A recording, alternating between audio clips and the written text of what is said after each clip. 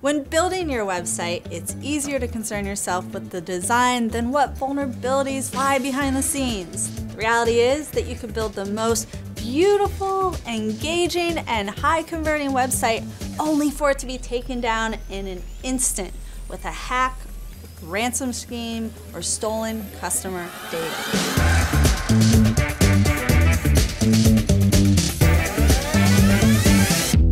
Security shouldn't be hard to understand. In fact, it should be a priority for every business. And that's why we're here. In this course, WordPress Security for Website Owners, we'll explore what you need to know to build and maintain your WordPress website with security in mind. Don't forget to subscribe. That's right, don't forget to subscribe. WordPress is the most popular content management system on the web, and its open source nature can make it vulnerable.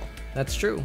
However, since WordPress consists of a robust community of WordPress contributors, continuous releases for updates for all themes and plugins help the platform stay secure.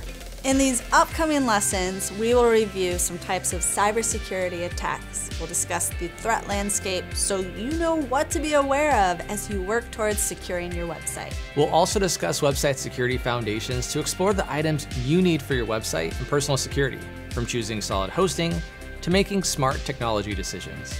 Then we'll look at hardening the self-hosted WordPress platform by outlining practical steps to install and set up your WordPress website with security in mind. And if you didn't build your website yourself, then these efforts can be discussed with your website developer.